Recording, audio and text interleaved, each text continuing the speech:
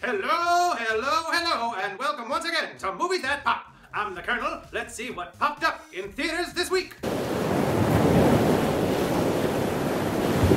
Moana is the latest animated musical to come from Walt Disney Animation Studios, and it carries that particular torch admirably and with style. With catchy songs co-written by Tony Award winner Lin-Manuel Miranda, some fine vocal performances by Dwayne Johnson, and newcomer Auli'i Cravalho, and some of the most beautifully rendered CG animation to date, Moana provides enough laughs, thrills, and tunes to satisfy the entire family. The latest in a trend, after Frozen and Tangled before it, of Disney princesses with magical powers. What's up with that? First healing powers, then wintry powers, now we have Moana with the power to communicate with the ocean.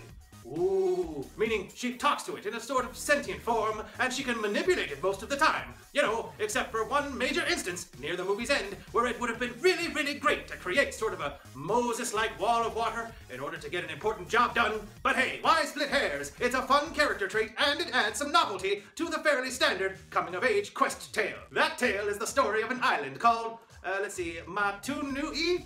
Matunui? Hmm, okay. Uh, well, whatever. It's a Polynesian paradise whose people, led by Moana's father, are afraid to leave due to the dangers of the ocean beyond. Moana is being groomed to be the tribe's next chief, but feels the call of the ocean, sometimes literally, as I previously mentioned.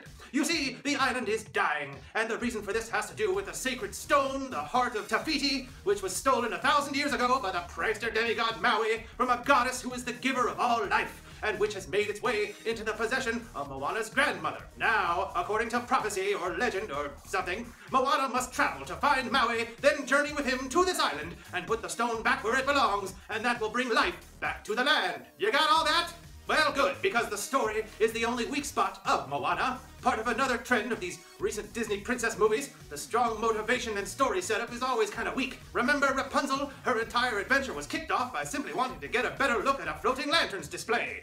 Frozen had Anna chasing down her sister Elsa to try and get Elsa to do something that she didn't even know how to do. Now we have Moana, who has to go through multiple different story beats, including discoveries, songs, and a major death, in order to set her on a relatively simple quest. After all, all she needs to do is to go grab Maui, and then go return the stone to its rightful place. Except she could just skip the getting Maui part because she starts out the story with the stone in her pocket. So why does she even need Maui? The logic doesn't uh, quite work. You want to know what does work in this movie? Literally everything else. While the story suffers from too many unnecessary beats, all of those beats are entertaining ones, starting with Dwayne Johnson's Maui character. He's a bit of a douche, to be honest. Vain, selfish, but he's visually interesting, funny, and has a great song called You're Welcome. So what can I say except you're welcome for the islands I pulled from the sea. There's no need to pray, it's okay, you're welcome. Ha! And his tattoos are characters in and of themselves. Plus, you've got some amusing detours to a place called Lato... Lado... Lado...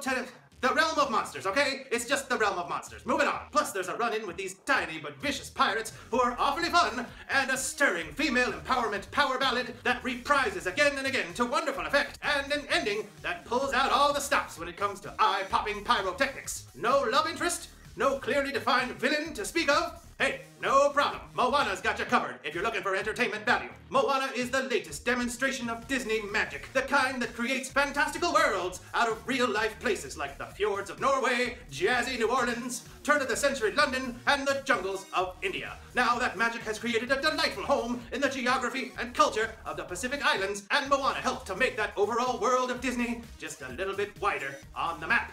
I award Moana a large bag of popcorn. While it's not truly as original or as dazzling as the best Disney features of late, like Frozen, Moana will still take you on a fun and delightful journey to fantastical places with fun characters while you tap your feet to the music the whole way. That does it for this edition of Movies That Pop. Don't forget to follow me, the Kernel, on Twitter at Movies That Pop. Click the icon right down there to visit our channel if you'd like to see more, and support us by clicking subscribe while you're there, and by clicking the thumbs up icon below. I'd like to hear your thoughts on Moana and how it stacks up against the other animated films in the Disney canon in the comments as well. Let me know. Tell me all about it, please. In the meantime, thanks for watching. I'm the Kernel, and thank you.